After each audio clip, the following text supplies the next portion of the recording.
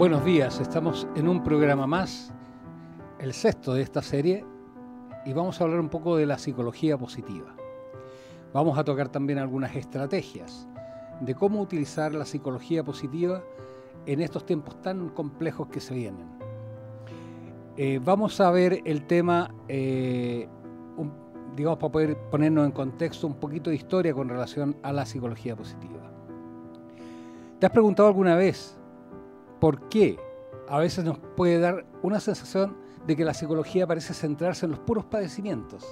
La gente va al psicólogo cuando padece diferentes anomalías, problemas, está deprimido, etc. Pero la psicología también se puede utilizar para otros momentos. Es decir, podríamos, podría darnos la sensación que este apasionante campo gira en torno a cómo pasar de estar mal a estar normal.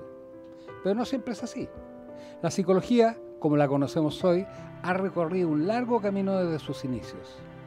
Durante mucho tiempo la psicología se centró en los aspectos negativos de la experiencia humana, como la enfermedad mental y la disfunción.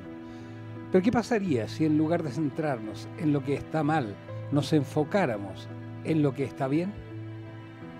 Esta es la pregunta que llevó al nacimiento de la psicología positiva. La psicología positiva nació oficialmente en 1998. Está recién, poquito más de 20 años, cuando el doctor Martin Seligman, durante su mandato como presidente de la Asociación Americana de Psicología, propuso un cambio de enfoque. En lugar de centrarse únicamente en tratar enfermedades mentales, Seligman sugirió que la psicología debería centrarse también en promover aspectos positivos de la experiencia humana, como la felicidad, la gratitud y el amor.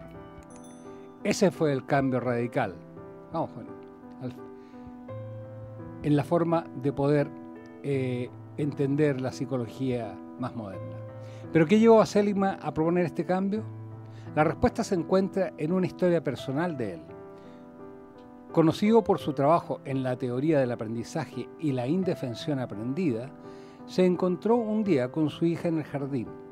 Seligman, frustrado con el comportamiento de su hija, la regañó, la retó, a lo que su hija respondió que si ella había podido dejar de lloriquear como él le había solicitado, él también podía dejar de ser un gruñón.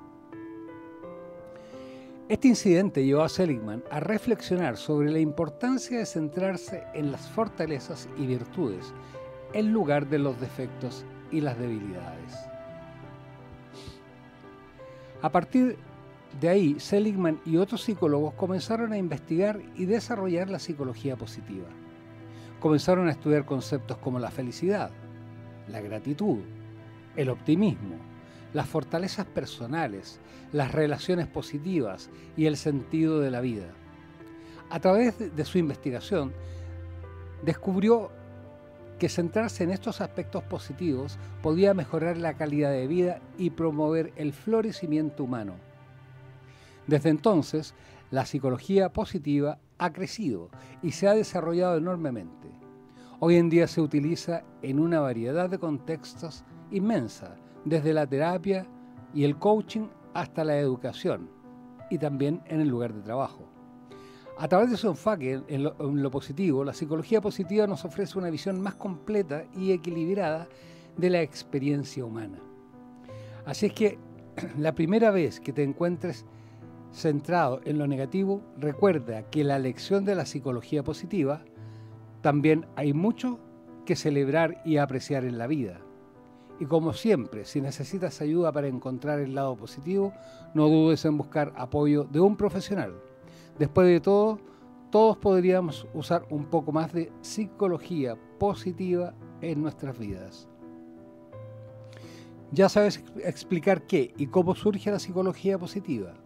Y resumiendo un, un, poco, es una rama de la psicología que se centra en el estudio y la promoción de aspectos positivos de la experiencia humana como la felicidad, la gratitud, la resiliencia, el optimismo, el sentido de la vida, las relaciones saludables y el bienestar personal y social. Y ahora, ya que sabes un poquito el contexto, voy a explicarte algunas estrategias. Pero antes de eso, eh, el tema yo lo he conversado en diversas oportunidades aquí, el, el tema de poder desde la mañana despertar, agradecer por la vida, agradecer la posibilidad de estar un día más en este planeta, tener tu gente cercana bien, tener salud, tener tantas cosas y comenzar a agradecer. La gratitud es la forma más rápida de, modificar la energía negativa en positiva. Una persona agradecida en realidad es una persona que va, va vibrando cada vez más alto, a diferencia de una negativa. La gente negativa o por ejemplo que tiene mecanismos de defensa de proyección, donde todo el mundo tiene la culpa de lo que le pasa, se da mucho por ejemplo en el caso de las adicciones, eh, la gente adicta severa cree que el mundo le debe algo y la verdad nunca asumen su propia responsabilidad. Es uno de los grandes problemas de las adicciones, por ejemplo. Entonces es importante poder eh, comenzar a tener la experiencia de la gratitud. Porque al agradecer estamos reconociendo que tenemos mucho. Y cuando tenemos mucho, siempre es posible que llegue más. Porque vibramos en un nivel alto. Recuerda que este es un universo de vibraciones, de energías. Una persona que está negativa siempre, es difícil que traiga a personas positivas. Así como una persona positiva no tampoco se vincula mucho con personas que vibran negativamente. Por eso es tan importante, ya creo que lo decía la vez anterior, el programa anterior, cuando tratas de encontrar una pareja, nunca la trates de buscar o encontrar en un momento en el cual te encuentras mal poco tiempo después de haber terminado una relación, o si andas deprimido por la vida o deprimida, no busques pareja en ese periodo de tiempo, porque vas a encontrar otra persona con la misma energía. Y cuando quieras salir adelante, vas a tener que cargar con un lastre que ni siquiera te corresponde. Entonces comencemos un poco con algunas estrategias como la gratitud. La gratitud es un poderoso catalizador para el bienestar. Consiste en reconocer y apreciar las cosas buenas que suceden en nuestra vida. Y todos los días están sucediendo cosas buenas. Una estrategia simple para cultivar la gratitud es mantener un diario de gratitud donde anotes diariamente tres cosas por las que te sientes agradecido. Y seguramente tienes muchas, porque de partida deberías estar agradecido por estar vivo y respirando, por tener tu cuerpo completo, si es que lo tienes, y si te falta algún miembro, bueno, el hecho de haber podido reemplazarlo, o etcétera. Tantas cosas que tenemos para agradecer. Nosotros tenemos demasiado que agradecer, pero hay un problema en la actualidad que todos creen que tienen derechos. Y cuando tú tienes derechos, entonces ya no agradeces porque es tu derecho. Esa es una de las grandes conflictivas que existe hoy en día. Todos tienen derecho a todo, pero resulta que la gratitud se debe justamente a agradecer las cosas que te llegan y no que sea una obligación del, del otro, de la empresa o del Estado que te den cosas porque tienen tienes derechos. Por lo tanto, hemos ido olvidando la gratitud en la medida que los derechos avanzan. Luego tenemos, por ejemplo, una estrategia importante es el optimismo. El optimismo es una actitud de esperanza y confianza en el futuro. Los optimistas tienden a ver los desafíos como temporales y superables y a considerar los fracasos como oportunidades de aprendizaje. Recuerda que en la vida a veces se gana y otras se aprende, nunca se pierde. Para cultivar el optimismo puedes practicar la reestructuración cognitiva, que implica identificar y desafiar pensamientos negativos y reemplazarlos por pensamientos más positivos y realistas. La autocompasión es otra estrategia. La autocompasión implica tratarte a ti mismo con amabilidad y comprensión. Hay mucha gente que cuando comete un error está permanentemente tratándose mal. Es importante tratarte bien especialmente en momentos difíciles o de fracaso. Para fomentar la autocompasión puedes practicar la meditación, que te ayudará a desarrollar una actitud más amable y compasiva hacia ti mismo. Y bueno, vamos a ir al primer tema de esta mañana. ¿Estamos, Juanito? ¿Listos? Perfecto. Bueno, aquí estamos de vuelta después de este tema musical y vamos a continuar con algunas estrategias eh, de la psicología positiva. Ahora, recordarles también que estoy viajando a regiones y tengo contemplado para este año Calama, La Serena, posiblemente Talca, Chillán ya fui, Concepción, viene el próximo mes de abril, luego Temuco y Puerto Montt, para que sepan. Bueno, es importante dentro de la estrategia de la eh, psicología positiva, por ejemplo, mantener relaciones positivas, relaciones saludables y significativas. Son una fuente importante de felicidad y bienestar. Para fortalecer tus relaciones puedes practicar la escucha activa. Esto es súper importante, que consiste en que el otro se sienta profundamente atendido y comprendido, mostrándole así que nos importa y haciéndole sentir como una persona valiosa y valorada. Se trata de expresar aprecio y gratitud hacia los demás y dedicar tiempo de calidad a las personas que te importan.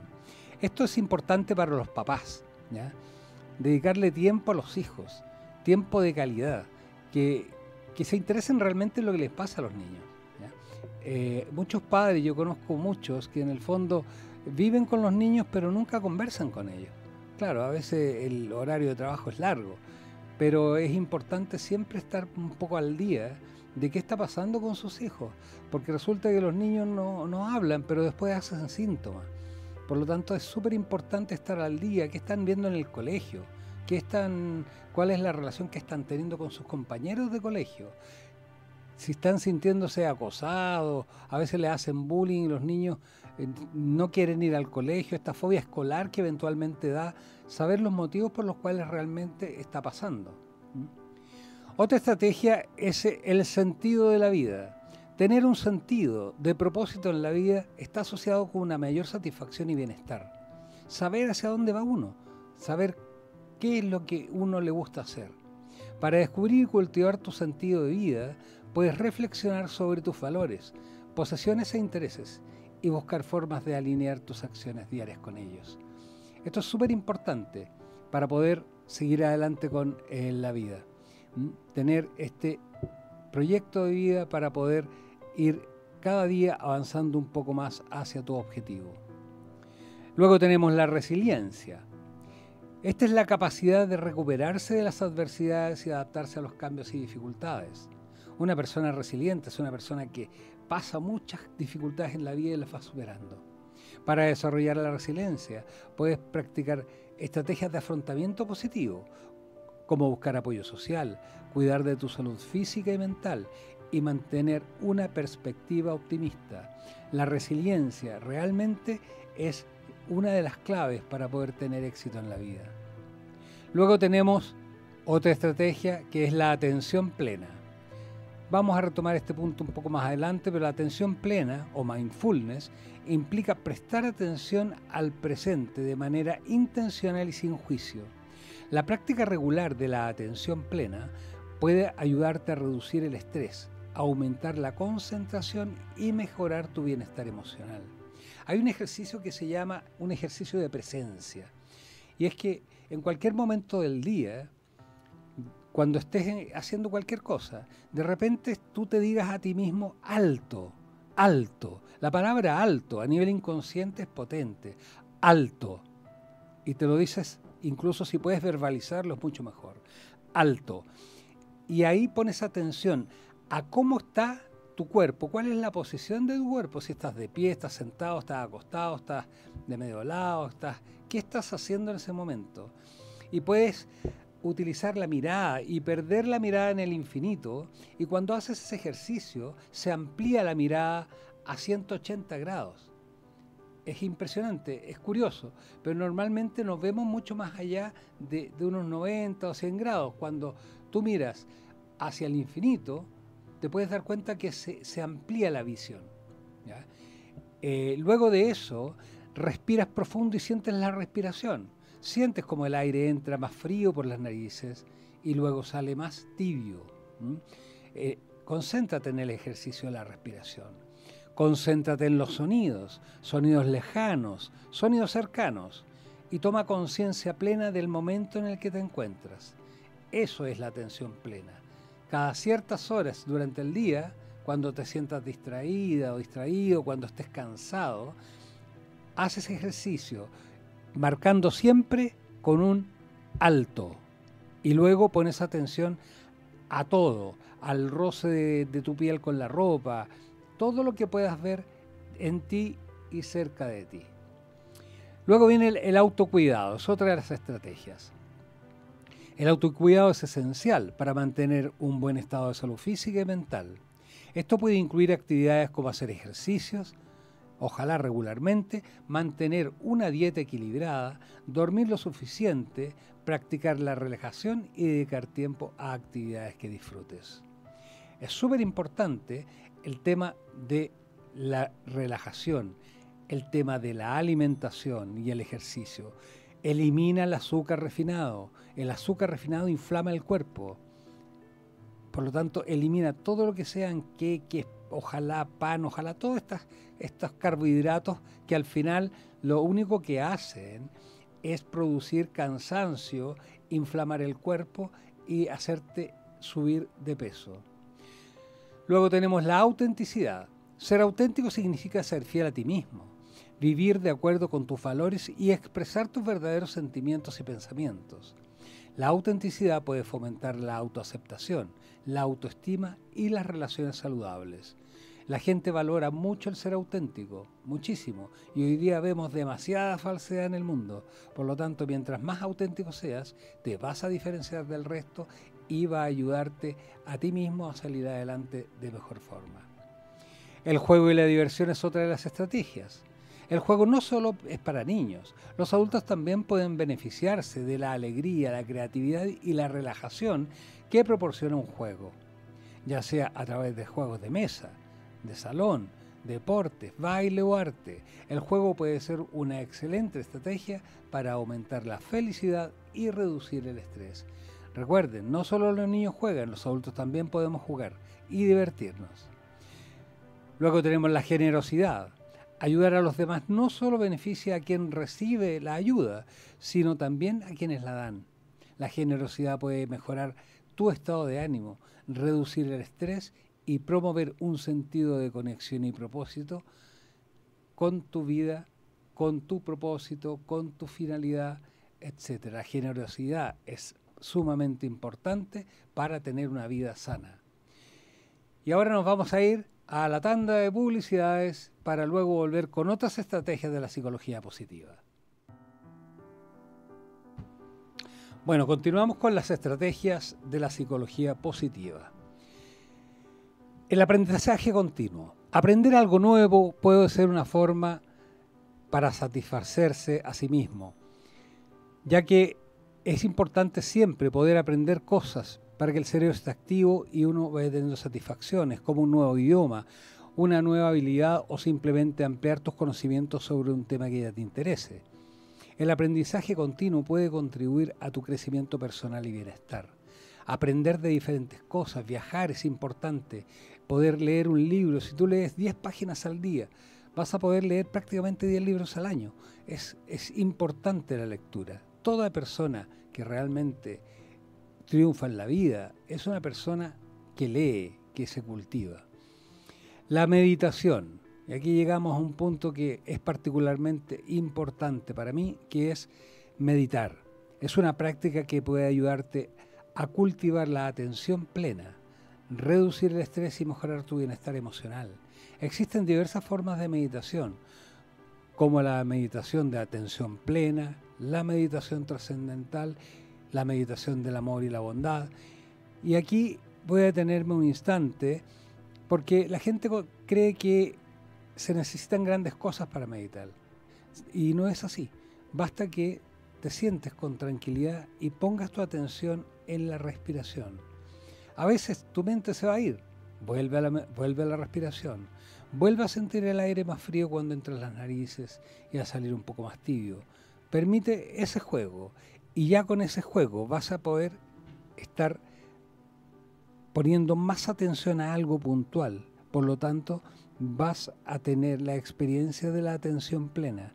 Meditar es muy sencillo y simplemente vas sumando luego minutos y después puedes hacer meditaciones largas y guiadas incluso que son muy gratificantes. La visualización positiva implica imaginar situaciones, situaciones o resultados positivos. Esta estrategia puede ayudarte a mantener una actitud positiva, aumentar tu motivación y mejorar tu rendimiento en diversas áreas de tu vida. La visualización positiva en las distintas áreas de tu vida es fundamental para poder estar contento, tranquilo, visualizarte triunfando en tu área de trabajo, en tus amistades. Luego tienes el perdón, otra de las estrategias. Este puede liberarte de los sentimientos de resentimiento y amargura que pueden surgir de las ofensas o heridas pasadas. Practicar el perdón puede promover la paz interior, mejorar tus relaciones y aumentar tu bienestar emocional. El perdón no es solo un acto hacia el otro, sino hacia uno mismo, ya que el odio y el resentimiento solo, solo dañan a tu propio cuerpo, mente y espíritu. Recuerda que cuando tienes rabia, tu cuerpo va segregando sustancias que van dañando al cuerpo. La adrenalina, el cortisol, las ansiedades van dañando a tu propio cuerpo, por lo tanto, lo mejor es perdonar y soltar. Es lo más sano para ti mismo. La aceptación es otra de las estrategias. La aceptación implica reconocer y aceptar la realidad tal como es, incluso cuando es difícil y dolorosa. La aceptación puede ayudarte a manejar el estrés, reducir la resistencia emocional y promover la paz y el bienestar. Es importante aceptar desde la serenidad y no desde la resignación, que siempre deja un sinsabor. Este, recuerden que la aceptación es la última etapa del duelo, por lo tanto, es importante aceptar desde la serenidad y no solo de la, resignación. El humor. El humor puede ser una poderosa herramienta para manejar el estrés, mejorar el estado de ánimo y promover la resiliencia, ya sea a través de chistes, comedias o simplemente no tomarse las cosas demasiado en serio. El humor puede aportar ligereza y alegría a tu vida diaria. Intenta buscar rutinas de humor en YouTube y divertirte, ver películas divertidas. Otra estrategia puede ser la creatividad. La creatividad puede ser una fuente de satisfacción, expresión y crecimiento personal, ya sea a través del arte, la escritura, la música, la cocina o cualquier otra forma de expresión creativa. La creatividad puede enriquecer tu vida y aumentar tu bienestar. Incluso la creatividad dentro, por ejemplo, de un estado de meditación. Crear, permitirte salir de la caja y pensar fuera de ella situaciones absolutamente absurdas. Te hará muy bien. La conexión con la naturaleza es otra de las estrategias. Pasar tiempo en la naturaleza puede tener numerosos beneficios para la salud física y mental, como reducir el estrés, mejora el estado de ánimo y promueve la relajación.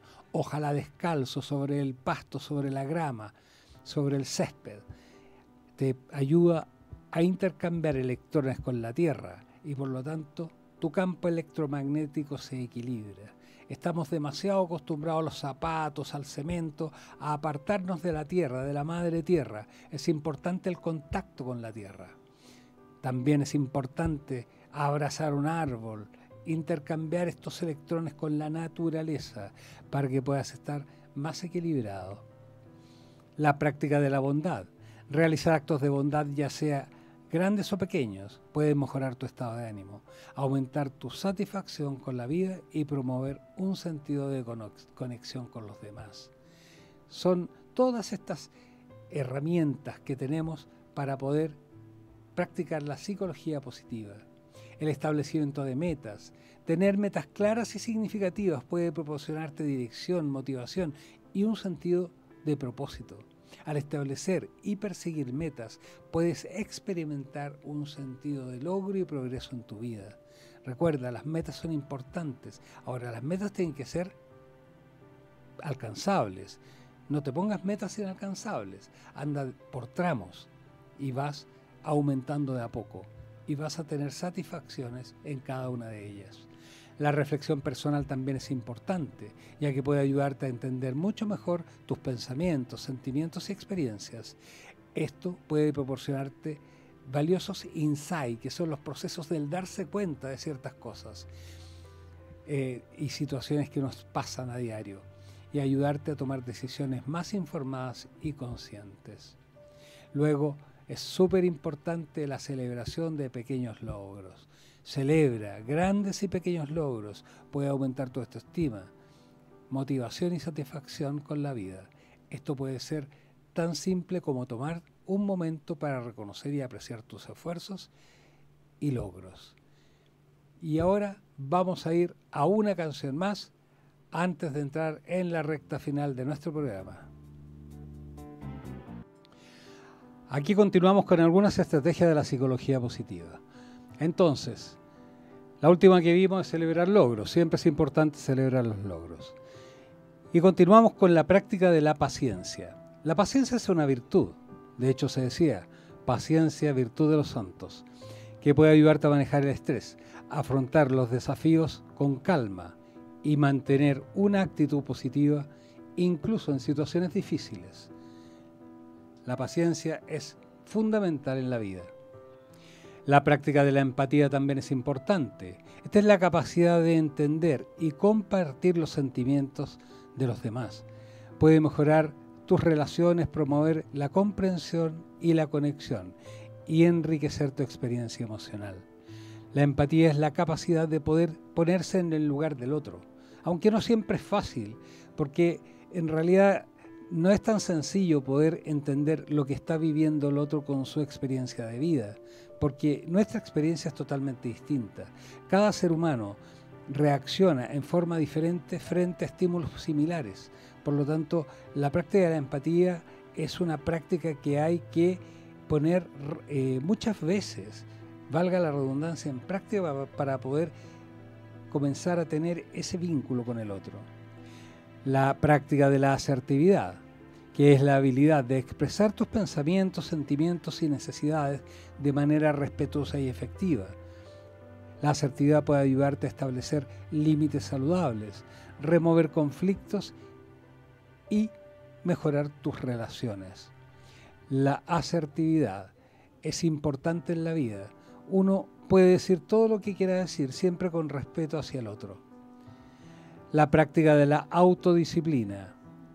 Esta es la capacidad de controlar tus comportamientos y acciones para alcanzar tus metas puede ser una herramienta poderosa para el crecimiento personal y el logro de tus objetivos. Recuerda que la disciplina se define como hacer lo que tienes que hacer, aunque no quieras hacerlo.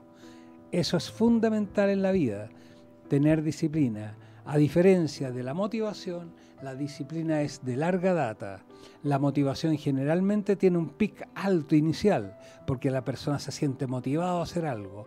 Por ejemplo, si, va a hacer ejercicio, comienza motivado y la motivación va un día, dos días, tres días, cinco días, siete días y empieza a decaer, a decaer, a decaer. Por lo tanto, eh, es un pic alto y luego cae, a diferencia de la disciplina, que es una constante, y aunque no quieras hacerlo, te levantas y lo haces.